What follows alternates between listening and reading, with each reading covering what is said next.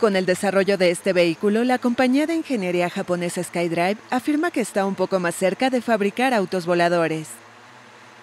Se trata de un coche tripulado compacto que usa ocho propulsores para flotar en el aire, aunque aún tiene algunas dificultades.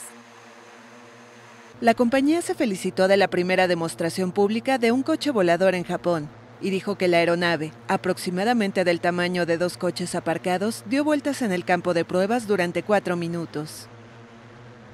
SkyDrive buscará que el auto esté disponible para comprar en Japón en 2023 con un coste que según medios podría alcanzar 300 mil dólares.